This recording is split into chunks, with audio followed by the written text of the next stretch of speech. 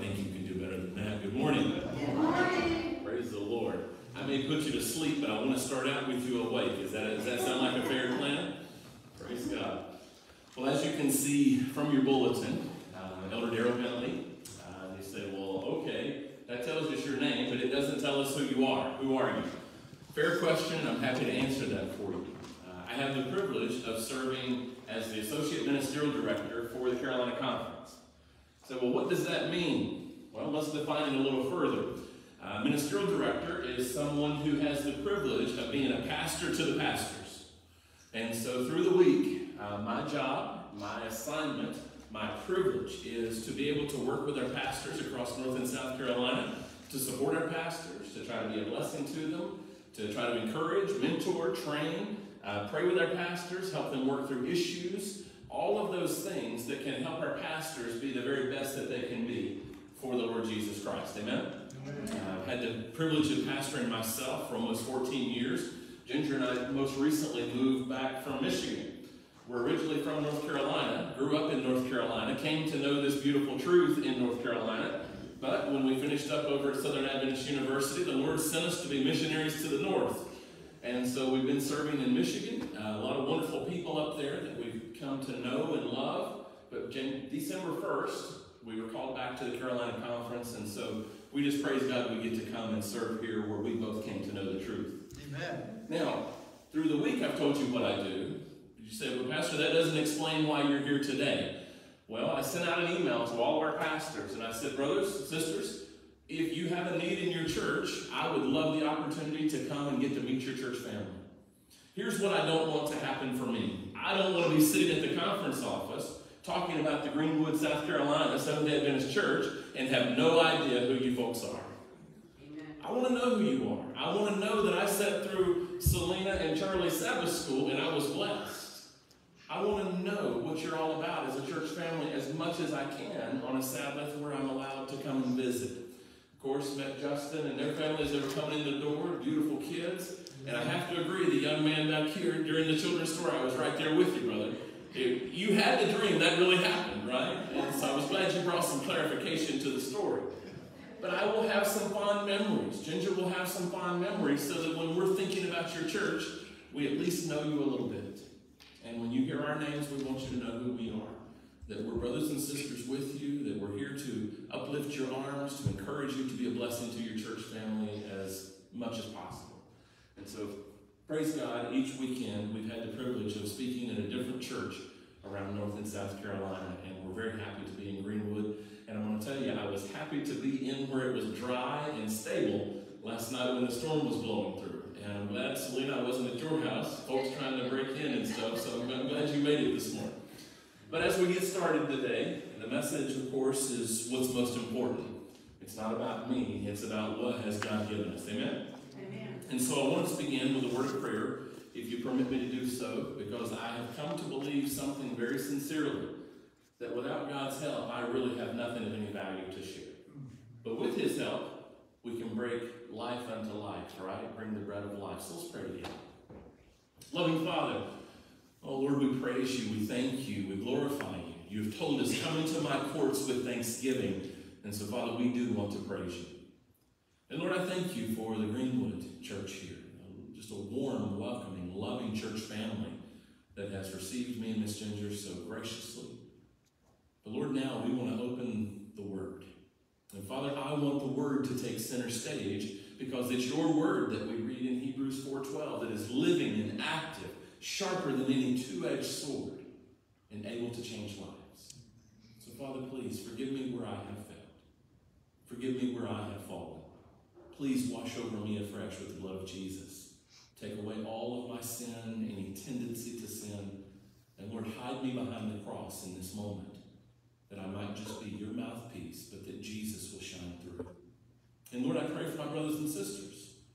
Many come to this church this morning perhaps with burdens, with concerns, maybe even distractions. Help us to set those things at the altar, that we might come collectively as the body of Christ and worship our God this morning. So, Father, thank you for blessing, for being in our midst. And we ask these mercies in Jesus' name. Amen. Amen. Quick show of hands. How many of you have a cell phone? Let me see them. I've, I've got one of those devices too. How many of you remember the days before we had cell phones? Right? It, it, it, doesn't seem like it was that far back, but now all of a sudden we're like, how did we live without them? And they're beautiful devices. I, I, I mean, I, am very much thankful for mine. It allows, uh, you can see my phone's over on the stand here, so I'll say hello to whoever may be watching with us on Facebook. It allows us to do a lot of things, but I'm going to tell you, those things can also kill us. You say, well, what do you mean? Well, I want to tell you a story, if I may. I'm going to take you back in time to 2011 ish. Ginger and I had been to North Carolina. We were currently serving in Michigan, and we were returning back to Michigan after a family visit in Carolina. We're driving along, Ginger's at the wheel. I'm over there reading or looking at something. We're on our way back. We're just minutes. We, I mean, 15 minutes, if that. We had just left her folks home. And as we're driving along, we're behind a concrete mixer. You know the trucks I'm talking about, right? It's got this big drum that's spinning. They're just big, beefy, monstrous trucks. And we're following this truck along. We're not right up on top of him or anything, but we're behind this concrete mixer. And as we're going along, the little dolly wheels that had been dropped in the back to help when the load is heavier, those wheels begin to skip. You know that rubber sound as it skips across the pavement? Those wheels begin, those tires begin to lock up, and that truck goes off the road, starts diving towards the right shoulder, but here's the problem there wasn't much shoulder because as the shoulder went off, then the bank went up. So the truck was obviously going off the road or trying to get off the road, but he had nowhere to go. And just as we see this, Ginger says, What is this truck doing? No sooner than those words had gotten off of her lips, all of a sudden,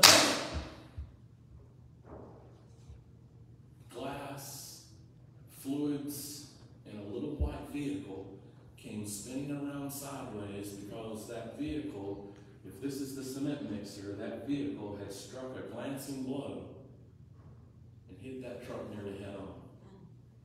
It struck that cement mixer with such an impact that the single mother who was driving that vehicle was impaled by the vehicle as it folded into her. To add insult to that injury, her seat was pushed back against a car carrier that was strapped into the back seat. And the little six month old baby's car carrier was nearly upside down. So as this vehicle comes to a stop, plastic and glass and fluids uh, just all over, we're stunned.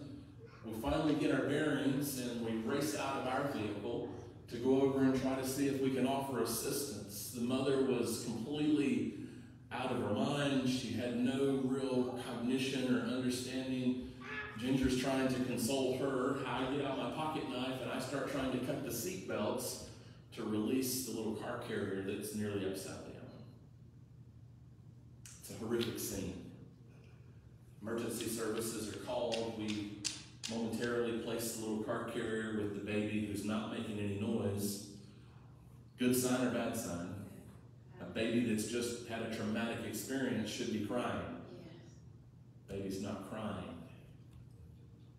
Emergency services come. It had already been drizzling rain just a little bit, but of course, started pouring rain. They had to use the jaws of life to cut the roof off of this vehicle and Unfortunately, by the time they were able to actually get to the mother and start extracting her, the mother perished on the scene. The baby was put in the first ambulance, was rushed towards Hickory. Were going to then airlift the child to Carolinas Medical Center in Charlotte. We later learned that the baby died en route. We followed the news from a distance, looked at the Hickory Daily Record online, and come to find out the reason that this single mother with a six month old baby perished needlessly on a country Carolina highway was because she was driving with one hand and texting with the other. And because her focus was diverted from where it should have been, she veers over into oncoming traffic. The cement mixer driver, he sees it coming, has nowhere to go. If only there had been a field, right, that he could have ran the mixer off into, I know he would have done so. But he was trapped, and she hit him. He was not injured, of course. This monster cement mixer was not injured, damaged in any way. But a single mom and a six month old baby lost their lives because mom was not focused. Have you ever driven beside somebody who's not focused? Oh, yeah. I don't want you to raise your hands. I don't want to impugn your character or call you out, but have you been the one beside someone not paying attention and drifting over into their lane? And sometimes it's not the cell phone, right? Sometimes it's we're eating something. Sometimes it's, it's our child needing some assistance. I've seen people swerving before because they've got one hand on the wheel and, and they're reaching behind trying to do something to help their child. Whatever the reason, that mom and baby lost their lives. About a few years later, there was a lady who reached out to me on Facebook and she said, Are you the Pastor Bentley who tried to help so and so? Yes, ma'am. I responded back and she said, That was my daughter and granddaughter. And she sent me a picture of mom and baby Rose a week before they had lost their lives. Hmm. I'm going to tell you, we had to stop driving. We pulled over. We just kind of, I remember Ginger and I and the kids. Our kids were small. We've got two boys with a girl in the middle. Our kids were small. They didn't know what was happening. We went to an olive garden here in Hickory, and we just kind of sat quietly staring at each other. Breaks your heart to see those kinds of things happen. How much more so do you think it breaks the heart of He who created us? How much more so do you think it breaks the heart of He who created us, who has also gone to prepare a place for us? And why are we told in Scripture that Jesus has gone to prepare a place for us? Because He wants to be apart from us or because He wants to be with us? He wants to be with us. So I wonder today, you looked at the title of today's sermon, it's called Stay Focused. I wonder if biblically we have been called to stay focused. And I believe that we have. I want you to go with me if you would. We're going to open up the scriptures to 1 Corinthians chapter 9. In Greenwood Church, I know you don't know me very well, but I want you to talk to me today. Right? If I ask a question, please speak out. If you feel something move your heart, don't be afraid to say an amen, all right? We don't have to be the frozen chosen on Sabbath morning. We can have a discussion this morning. What do you say? Amen. Praise God. All right, so 1 Corinthians, did you hear which chapter? 1 Corinthians chapter 9. And I want you to go with me to verse 19 and just give me a little amen when you're there. Amen. 1 Corinthians 9 and which verse? 19. 19. When you're there, just say amen. If you need more time, say have mercy. I'll wait on you. I get paid by the month.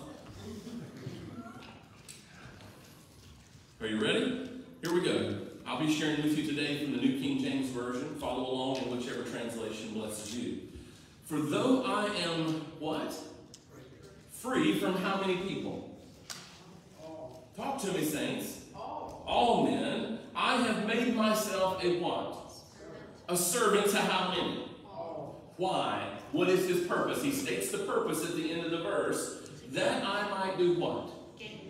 Gain or win the more. In other words, even though I don't owe you anything, even though I have no obligation to you in a legal sense, he says, I have made myself a servant to all for the sole purpose of what? That I might win people to the gospel. Hmm. Then he notice how he blends. He shifts. He's a bit of a spiritual chameleon, if you will. But he never makes, makes those changes with compromise. But he says, To the Jews, I became as a Jew. Why? That I might win Jews. To those who are under the law, as under the law, that I might win those who are under the law. So when I'm around Jewish believers who believe they're, they're saved by keeping the law, I know how to act around those kind of people. That's what he's saying. Verse 21, are you still with me? To those who are without law, as without law. And not being without law toward God, but under law toward Christ. So he's very clear to make sure, listen, I didn't live or act in such a way as I dismiss the Word of God, right? I don't compromise spiritually, but I'm going to try to reach you as far as I can. Did Jesus do this same thing? Did he hang out with people that society said you shouldn't hang out with? He mingled with men. He mingled among men as one who desired their good, we're told in Ministry of Healing, page 143. Okay? He wanted to be with people. Now, notice verse 22. Verse 22 to me is profound. To the weak, I became as weak. Now, we may look at that and we may think, well, that's talking about physicality, right? That's talking about people who are puny. I would suggest to you that it's talking about people who are living without control over their lives. Let me, let me give you an example of a weakness that you and I have. How many of you filled up your gas tank this week? I drive a Jeep Grand, Grand Cherokee that has a 24 gallon tank. And I was sitting there. I was so thankful that my loan got approved so I could get a tank of gas. I don't know about you, but I feel pretty powerless at the pump. How much power do you and I have to change what's happening at the pump? Right? There are certain areas of our lives where we have no power to influence or, or, or impact a change. There's certain things that happen I can't control. Any prior service people here? Do I have any veterans in, in, my, in my midst? Okay, my brother here, what branch did you serve with? Okay, Navy, I was Army. When you were given an order, how much power did you have to change that order if it was a lawful order? You had one response. Yes, sir. Or yes, ma'am, depending on who's given the order, right? We had the same thing in the army. There's what I'm saying. Paul says to those who in society had very little impact over themselves, had very little autonomy over themselves. I didn't come in as someone who was free and just passing through. I, as to the weak, I acted as the weak. I made myself as one of them. And notice again, why does he do this? Why did he go to the Jews as one of the Jews under the law? Why did he go to those without the law as one without the law? Why did he go to the weak? He tells us over and over that I might win who? The weak. I have become all things to all men that by all means I save some. And then I love verse 23. He clarifies this very deeply. I do this for the gospel's sake. Now notice the last part of verse 23. Look at verse 23 again with me.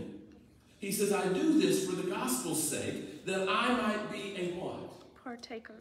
A partaker of it with you. In other words, catch this principle, saints. Here's a big principle that we as Seventh day Adventists sometimes forget. Part of how my salvation is affected is being a witness to share salvation with others. Amen. You say, well, Pastor, that's heresy. That sounds like a system of works. That's not what I'm saying. Hold your finger here in 1 Corinthians 9 and turn with me to Revelation chapter 12 and go to verse 11. Don't lose your place in Corinthians. We're just going to bounce over to Revelation very quickly and we're going to come right back. Revelation 12, in which verse? Verse 11. When you get there, let me know you're there. Amen.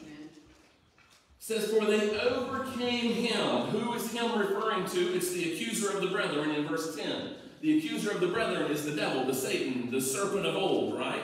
He's the one accusing the brethren. They overcame him. What was the first way that they overcame the devil? Blood of the Lamb. Blood of the Lamb. So, in other words, your first and foremost stance of getting salvation is under the bloodstained banner of Jesus. Amen? Amen. But then notice what is the next step at keeping the devil at bay? The word of their testimony. they overcame him by the blood of the Lamb, by the word of their testimony. In other words, they were able to keep their eyes focused on Jesus because they were constantly telling somebody what Jesus had done for them. How many times do we as Christians get discouraged? But if we were sharing our faith, it would keep the experience fresh. If we were sharing what Jesus has done, it would keep the connection alive. If we lived our lives with the expectation that I've been called to share, I've been called to witness, I've been called to testify of Jesus, you see, it totally changes our perspective. Bounce back with me now to 1 Corinthians 9. I believe that that same underpinning, that same understanding, Paul is promoting here. I do what I do. I share the gospel with all of these groups. I try to become all things to all people for one reason that they might be one and that I may be a partaker of it with you. by being a faithful witness, it keeps me connected to Jesus. Are you tracking with me, saints? Does that make sense? So, what's the inverse of that equation? If I claim to love Jesus, but I never share my faith, what is that doing to my faith?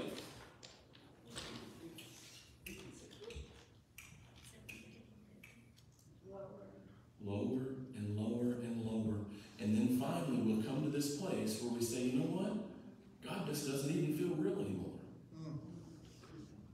Over the course of pastoral ministry, I've had people come to me and say, Pastor, I don't feel connected to God. I don't feel like He's hearing my prayers. I don't feel like He's listening. And I always start out with the same question, Brother Charlie. I always ask them this Tell me about your prayer and devotional life.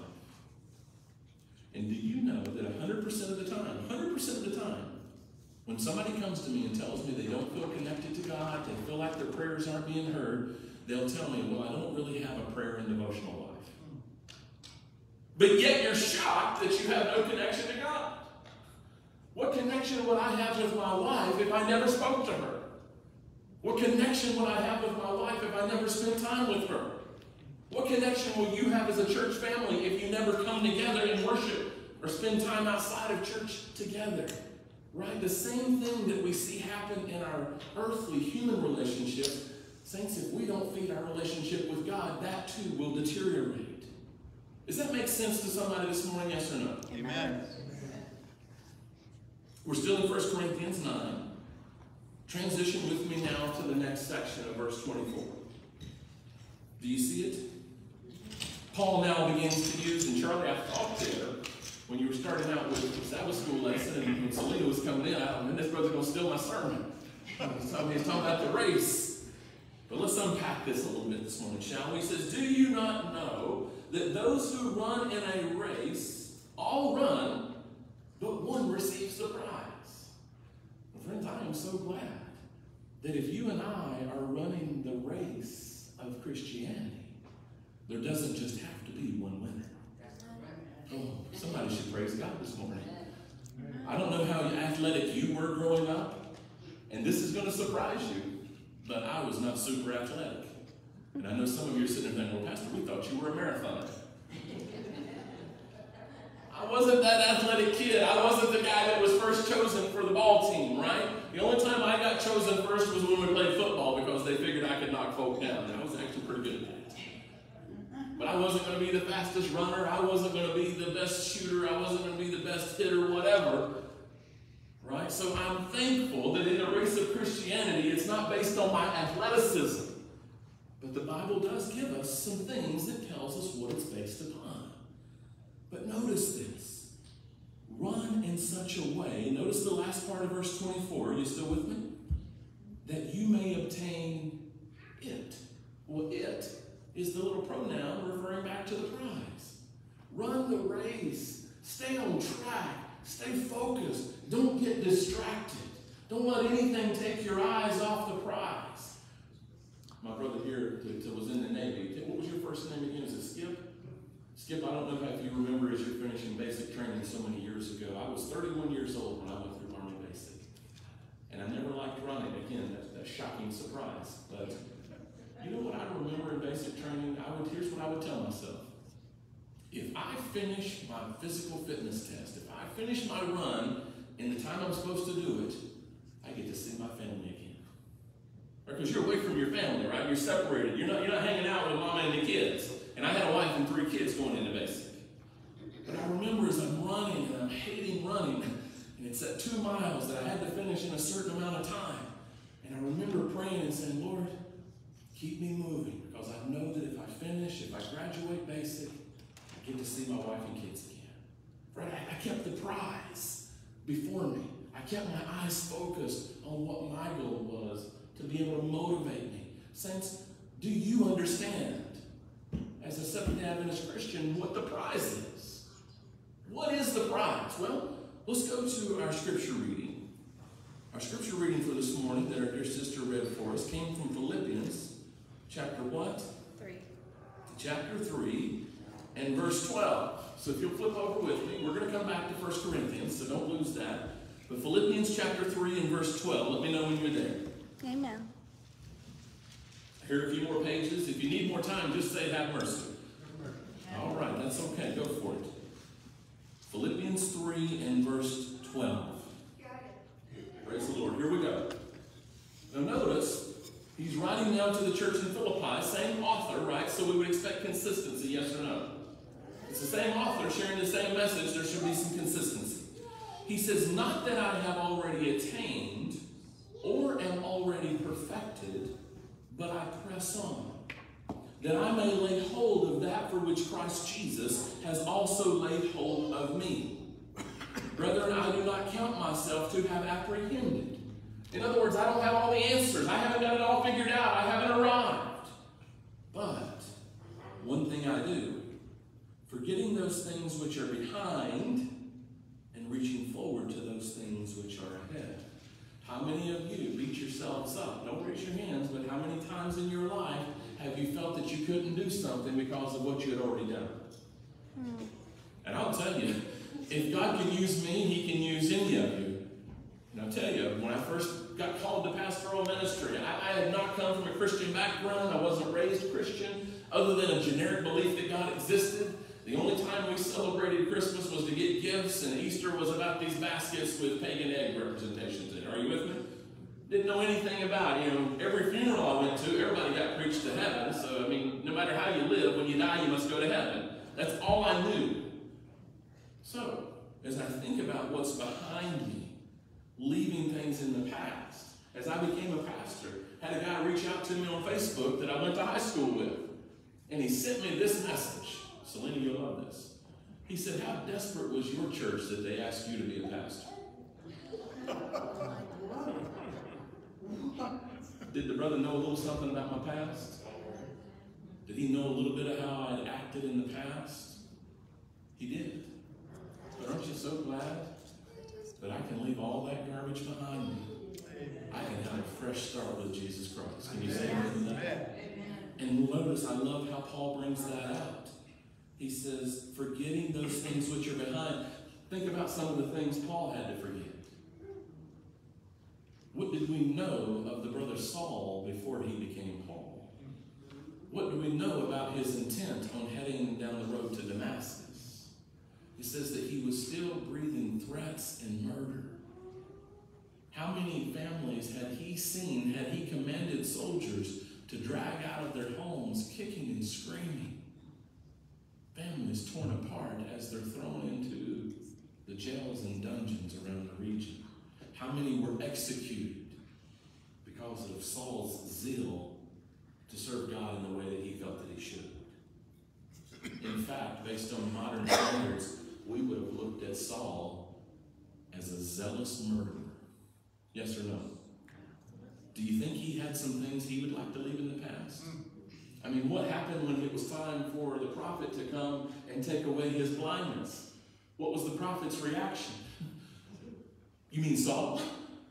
You mean that brother was trying to kill me? You mean that brother that's had other people thrown in prison? No, no, no, just go. Faithful was the prophet who went and baptized Saul to become Paul, the greatest writer of the New Testament. Praise God, he comes to me and he comes to you and he says, forgetting those things which are behind and reaching forward to those things which are ahead. Now notice it comes back into focus. Verse 14, I press toward the goal for the what, saints? For the prize. What is the prize? He goes on to explain it. He fleshes it out a little further. He says the prize is the upward call of whom? God in Christ Jesus. Saints, I don't know about you, but if you think of the privilege that you and I have been given as Christians to take the three angels' messages to a world that's dying without a Savior. Do you know that we're told in Spirit of Prophecy that the angels would love to be doing what we've been called to do? But you know, God's called us to do it. Why? Because part of the process is that we will get distracted. We will get blindsided. We will veer over into oncoming spiritual traffic and we'll get destroyed. God wants us to stay focused, and He says one of the ways you're going to stay focused is yes, those spiritual disciplines of prayer and Bible study, but you're also going to stay focused. You're going to stay looking towards the prize by sharing what God has done for you, sharing what Christ has done for you. The question is, are we sharing? Is God still in the business of making divine appointments? Hmm. Amen. I believe he is. I can tell you several stories. I'll tell you one just quickly and we'll keep moving. Ginger and I are in Michigan. We're pastoring. She sends me a list to go to the grocery store. One of the things I hate most in this life is being sent to a grocery store by my wife. Any other men relate to that? Oh, mercy. Come on now. You don't even like going, okay. Well, she probably doesn't like going either, but she, she sends me, and so because I love her, I'm going to go.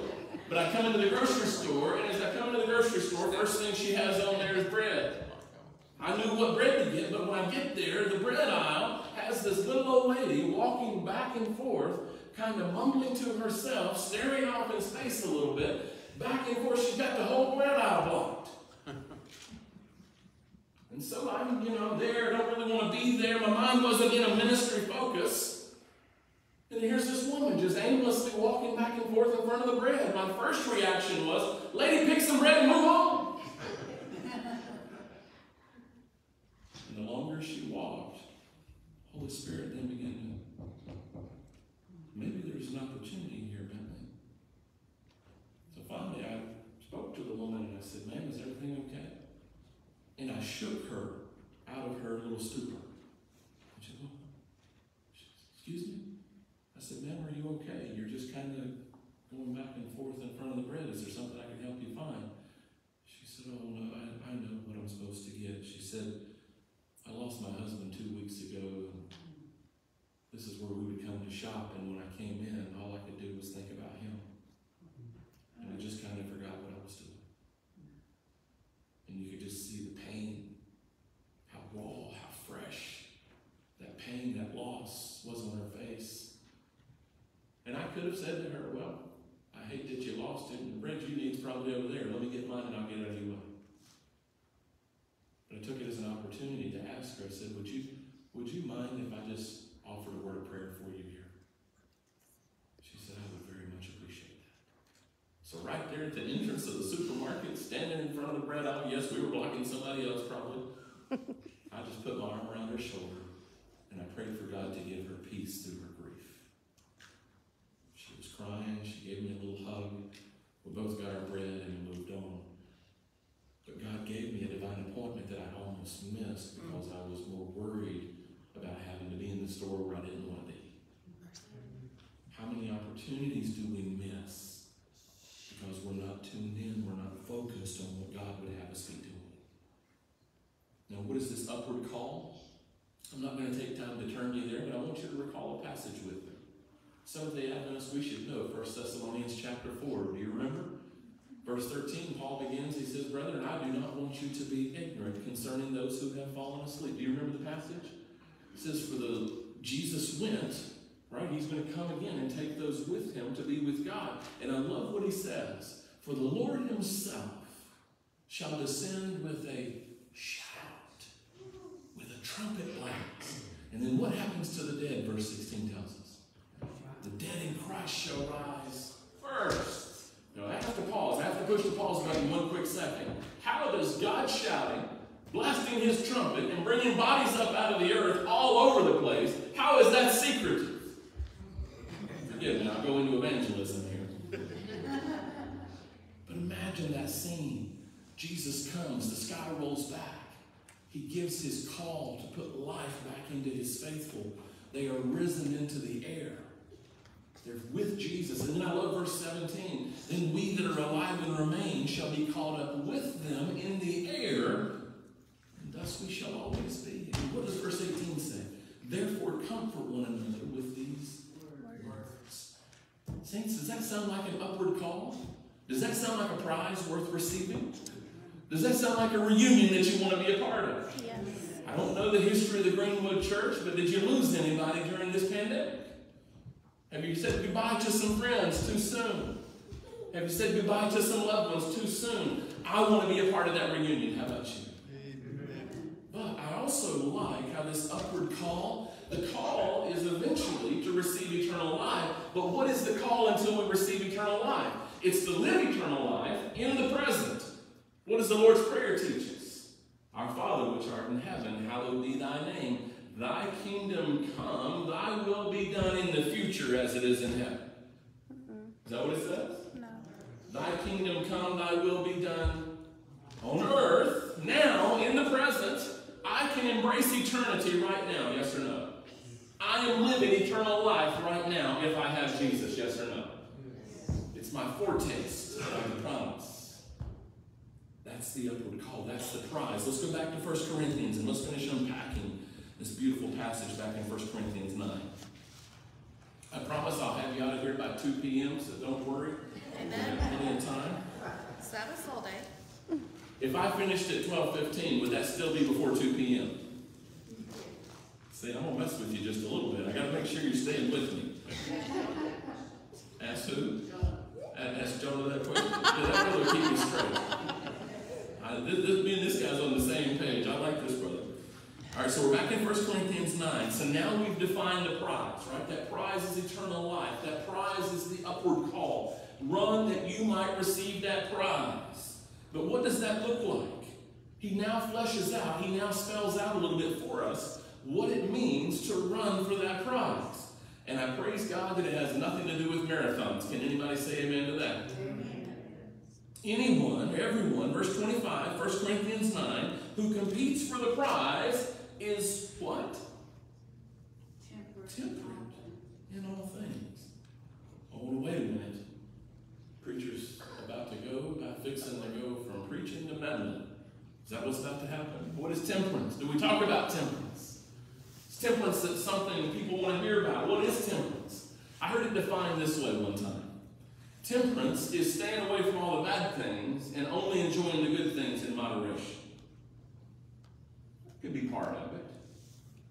Can I suggest it maybe a little fuller definition that temperance is only partaking in the things that God has ordained, right?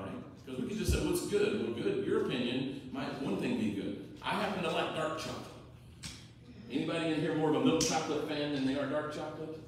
Okay, yeah, my wife's more milk chocolate, I'm more dark chocolate. I like just the, the less sweet, more, you know, a little bit more bitter taste. We can argue about opinions, right? So we got to get away from that. We have to ask the question, what is temperance in God's eyes? Well, it's going to be the things that God has ordained, the things that God has said we should partake of. That's our diet, that's everything. So, well, Pastor, how do you know that? Well, I've read 1 Corinthians 6, 19 and 20. Do you recall it? Verse 19 in 1 Corinthians 6, Paul writes, Know you not that your body is the what? Temple of the Holy Spirit, and that you are not your own. You have bought, been bought with a price, therefore, glorify God in your body. Yes or no? Now, what else has he said? In the same book, the very next chapter, if you want to look down to verse 31 of chapter 10, take just a second and read it for yourself. 1 Corinthians 10, we're in 9. Look forward just to one page or so. Verse 31 Therefore, whether you eat or drink, still sounds like a focus on diet, or what? Whatever you. Whatever. Oh, there's the catch all. It's not just about diet. And listen, saints, I'm not one of these people that's hung up on, I have salvation by my diet. I've met people who that's how they have a metric of holiness. Well, you're still eating this, so you're not holy enough. Another quick story. I'm working at Southern Adventist University. Any, anybody been over to Southern's campus? There's a little grocery store right across the street from the college. It's called the Village Market. Anybody been to the Village Market? My best friend and I were there. We're working in the Village Market, and they had these little Morningstar sausage biscuits. They're in the deli. And whoever made those biscuits knew how to make a biscuit. I mean, it was it was a good biscuit. And they would microwave that little Morningstar sausage patty and that biscuit for you for about 25 seconds. Smear a little mayonnaise on that. Oh. My buddy and I were there. We were looking at those sausage biscuits. They had two left. And he said, You know, I wonder if they'd put a slice of cheese on them for us. And I said, Well, let's ask. That sounds amazing. So the lady comes up, Can I help you, boys? Yes, ma'am. We'd, uh, we'd love to have a slice of cheese on that Morningstar biscuit and have you microwave it. Well, I hope you don't love it too much. what? And my buddy said, Excuse me? Well, I hope you don't love that cheese too much, you know it's wholly unfit for food. This woman didn't know us from Adam. She didn't know if we were somebody from the community or we're a customer, if we work there, students, whatever. She just lays into us. Well, Billy got a little upset. And he said to her, Well, you know, Jesus probably ate cheese. Here was her response. I'll never forget it. Well, he didn't have the spirit of prophecy.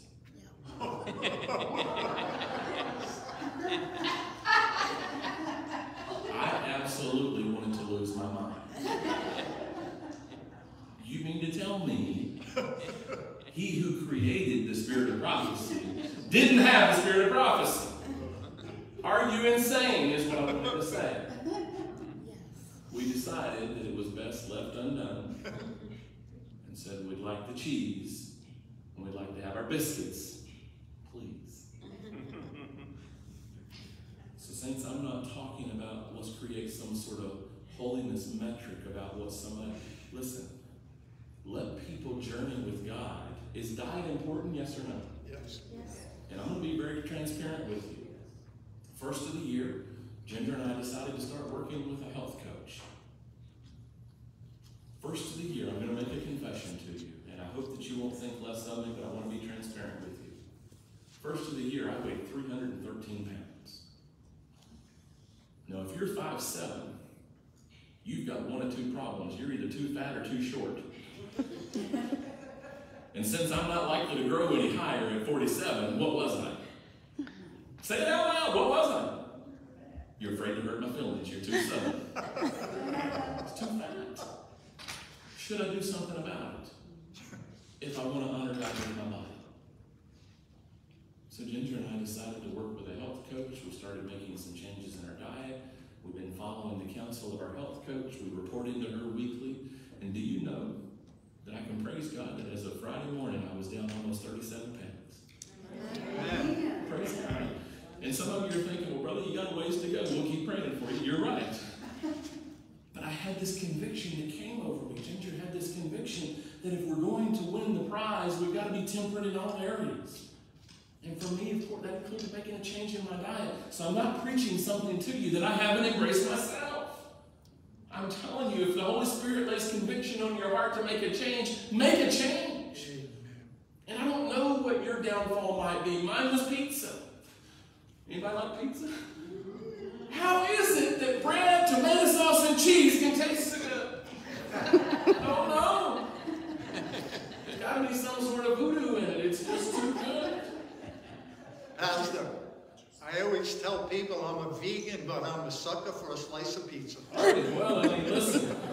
I don't want to be a stumbling block for you, you know, and, and, and I'm not vegan, but I've been making choices that help me bring my, my, my body temple more in such a way that it can honor God. Does that make sense? So I don't know what your struggle might be, but notice, go back to the scriptures. Let's look back at 1 Corinthians 9. Let's stay faithful. He says that if I'm going to run for this race, if I'm going to run for this prize, if I'm going to compete, I have to be temperate. And maybe for you, it's what you look at on the internet. Maybe it's working too much. I don't know where you might have imbalance in your life, but imbalance will destroy you. Now, notice this third point. So far, our first point is there's a prize. That prize is eternal life. It's an upward call. Point number two, we have to be temperate in all things if we want the prize. Notice point number three. It's in the second half of verse 25. Now they do it to obtain a perishable crown. So, in other words, the world's running for something that's going to burn. But we for what type of crown?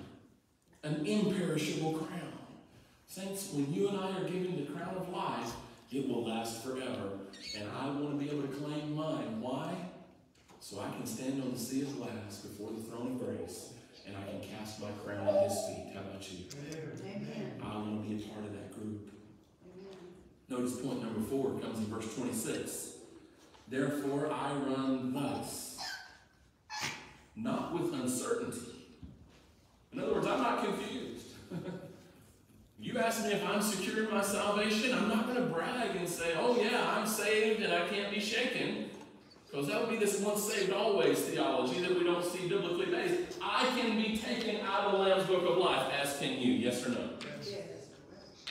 But what has Jesus told us? Fight. But he said, For God so loved the world that whosoever believeth in him should not perish but have everlasting life. For God sent not his Son into the world to condemn the world, but that the world through him might be saved. So, friends, if I choose Jesus, if I live for Jesus, can I have a level of certainty that he will ultimately save me? Absolutely. And I can't be arrogant and say, well, I gave my heart to Jesus 30 years ago. I haven't changed my mind. I've been living like the devil, but I'm still saved. No, you're not. By your fruits, Jesus said in Matthew 7, verse 20, you shall know them. And if you have fruits of iniquity, guess whose father you're serving? What did Jesus say in John chapter 8? It says the devil is the father of lies. Right? So friends, we, we can have certainty. And I love the last part of verse 30, excuse me, 26.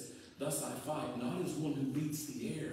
Right? I'm not just shadowboxing in preparation. We actually are embroiled in spiritual combat. I'm not fighting with uncertainty. I'm not running with uncertainty. I'm running with assurance. So that's point number four. Now notice verse 27. This is the last point. We'll end with this. But I discipline my body and bring it into subjection, lest when I have preached to others, I myself should become disqualified. Notice he wants us to be very certain and recognize very clearly that it's one time you could walk with God, but you can also walk away. Do you remember the parable that Jesus gave of the ten virgins? How many recall the story from Matthew 25? You had ten. My man remembers. There were ten of them. They all had oil, yes or no? Okay. Did they all have enough oil? No. No.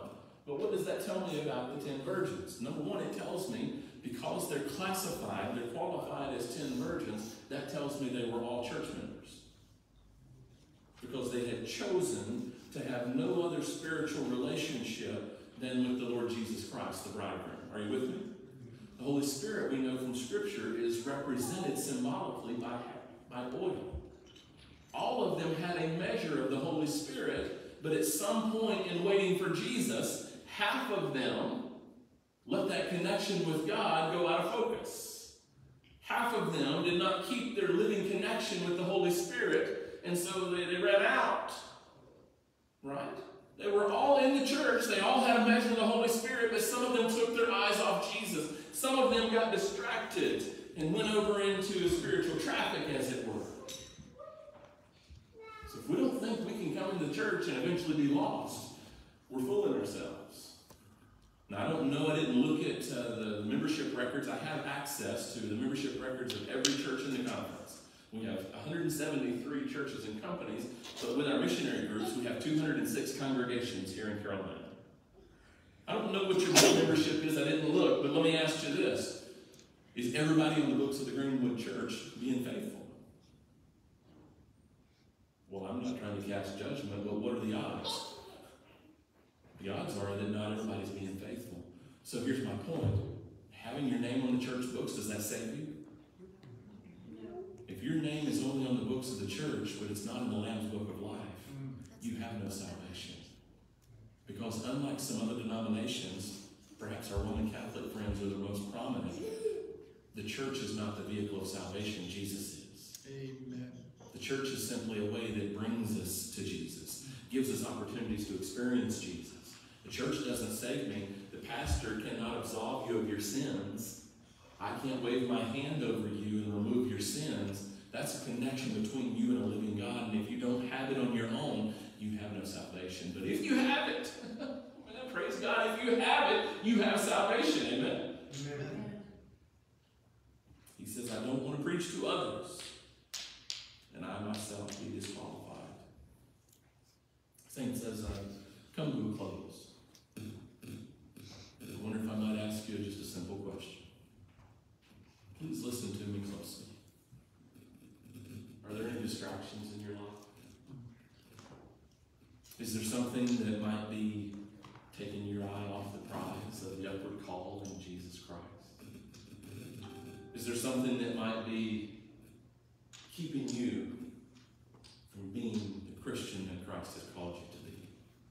I don't know. And I didn't call Pastor Edwards and say, listen, give me a rundown on how messed up the Greenwood Church is. I, I don't do that kind of stuff.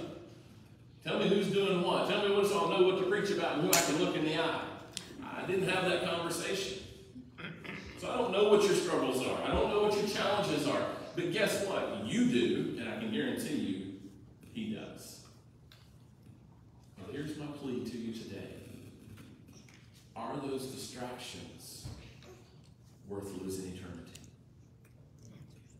Do you think if that single mom who lost baby Rose had it to do over, if she had known by looking at your phone you're going to kill yourself and your baby, do you think she would have done something differently? I guarantee you she would have.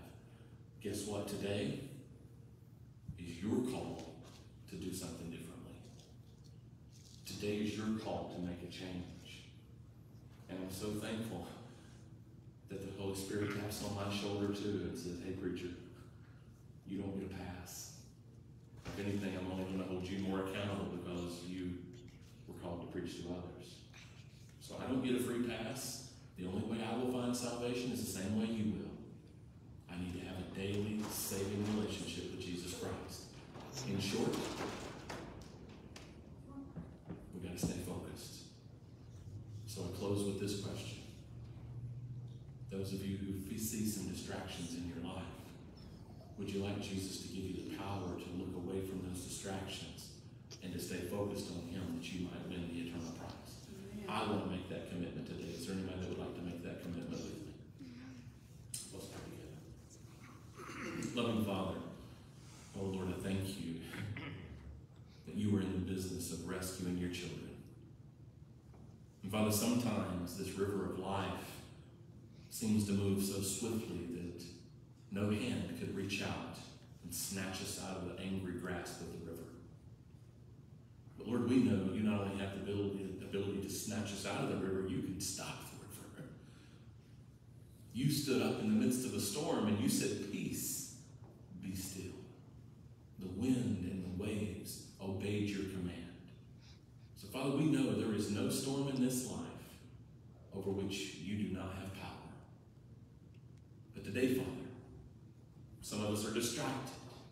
Some of us have let our focus get on other things. Some of us have allowed other things to take the place of first affection in our lives. And we've raised our hands and we've said, Lord, please see me. Please recognize my need today.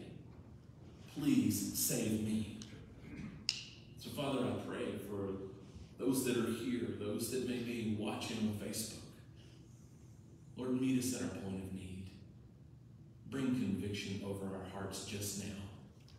Whatever is keeping us from being committed to you, help us to set it aside, to give it to you. Because, Lord, if we just set it aside, there's a chance we might pick it back up. But if we hand it over to you, if we let you take possession, you can take it away. So, Lord, may we set those things at the proverbial altar today.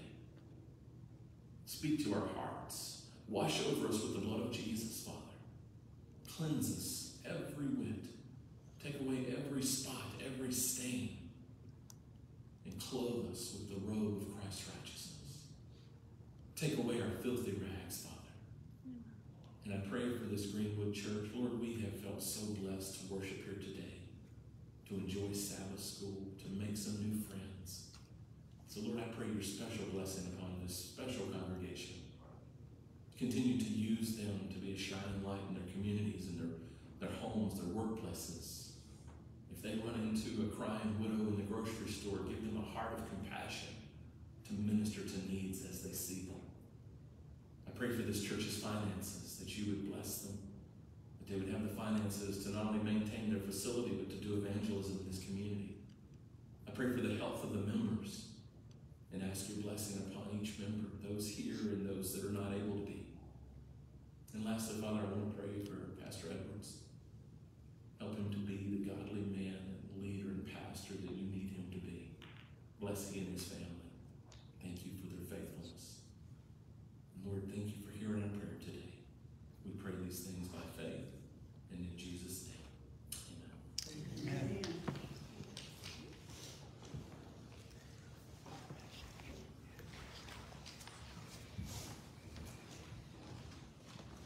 closing hymn, let's turn in our black hymnals to hymn number 326, Open My Eyes That I May See.